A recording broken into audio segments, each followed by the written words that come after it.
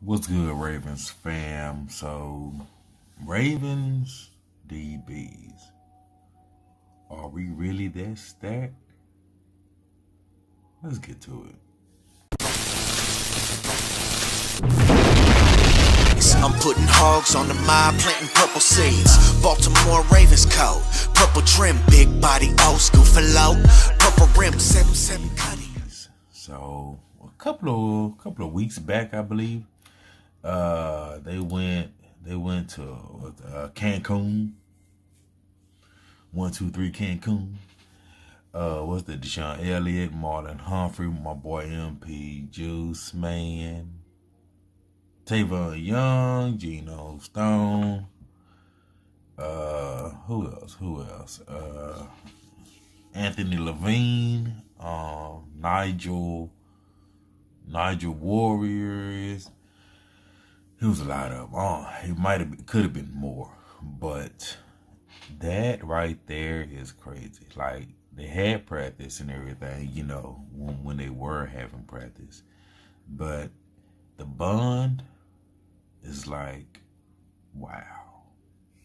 And you think about where we came from, from when that number 29 Earl Thomas was here, you seen a lot of broken, like, no good communication with Chuck Clark. And I think that's why Chuck Clark hit him, or he hit Chuck. I can't remember, but that, that's the craziness. But you see how that turns out. And now a couple of what two years I believe it has been, where you see them getting together, a lot of uh, a lot of communication with each other outside of football that builds that brother's bond. Like I seen a picture of Marlon Humphrey at his new house, and who was there? Jimmy Smith. It could have been some other people as well, but it only showed Jimmy Smith on his Instagram. And I'm like, this is, that's cool. You know what I'm saying? Like, you hear some teams, they only just tolerate each other. But this right here, that's, that's special. That's special. And we all know who's our top dog for the DBs. That is that man, Marlon Humphrey, Mr. Fruit Punch himself. But then I heard Marlon Humphrey as well speak about on the podcast, he spoke about the brotherhood as well, but they was asking him about, you know, MP Juice Man. And he was like, he's one of the realest, coolest dudes, but one of the smartest dudes. And he's like, he learned that he's learning a lot from him. And I'm like, so you learn from Jimmy Smith when when Jimmy Smith was out there, he can lock you down when he's healthy. Then on top of that, got a uh, MP Juice Man comes in, pretty young man, pretty young age young man, and as well, been to the Pro Bowl, leading the league in interceptions for since he been in the league, and now you're learning from him. Wow, like wow, and you just think about Marlon Humphrey learning from them. I think what's that Brandon? What was that Brandon Stephens and all the all the just these young young guys we have. These rookies, second year players we have. If Tavon Young can come back healthy and play a full season.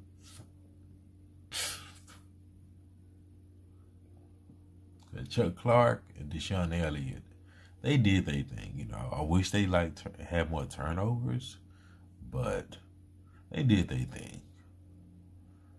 But man, I know, knock on wood, I know everybody can't stay hundred percent healthy this year, but man, with Marlon Humphrey, MP Juice Man, and Tavon in the slot.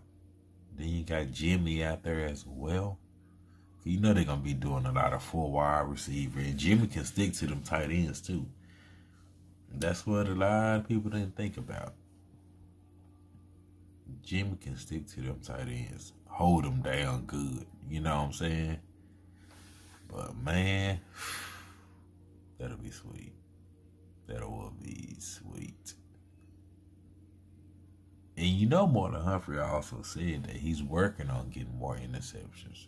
That's one thing he did lack was catching an interception. Now he can do the tackling, he can force the fumbles. Like the year before, he wasn't doing it like that. So it seems like each off season, he's working on something to get better at each each step by step. And I believe that's what he told the coach. He wants to get better at something each year.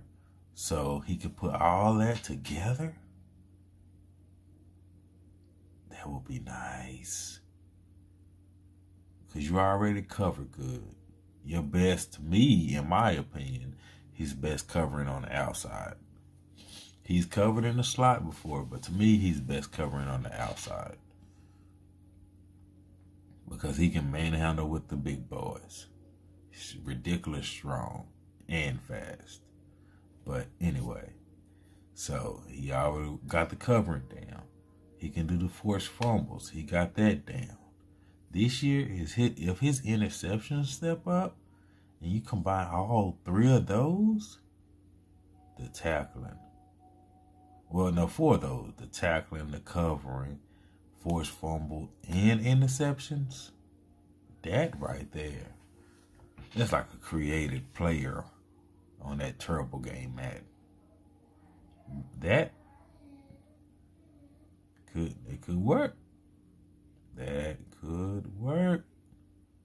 Cause he gotta he might have in order to me in in in order for him to get them interception, he might have to do like MP Juice Man. Which is you gotta take them. You gotta take them the risk. Make it look like the person is open when they're actually not. Cause he he used to be Marlon Humphrey used to be a track star. But man, all these DBs just Cancun and oh man, that brotherhood. I can't remember when the last time I seen well social media wasn't that that big like it is now back in the day. But I can't. I remember hearing Ed Reed talk about, you know, going to Ray Lewis' house or they going to his house or something like that for, you know, study. But they really didn't talk about hanging out like that with each other, you know. But it could have happened. You never know. But still, that's Man, that's sweet. And our wide, our wide receivers doing that. I wonder if our wide receivers are doing that. Anyway, anyway. But that's just something to think about, y'all. Just could this year be one of the best years for our DBs? The, the group we have now? Could it be? Y'all tell me what y'all think. I, I believe it could. I believe it could. With that with that bonding, the communication should be on point. Hopefully it be on point. But y'all tell me what you think. Hit that like, hit that subscribe, hit that share. Thanks for the support. I think this year could be one of the best for the DBs.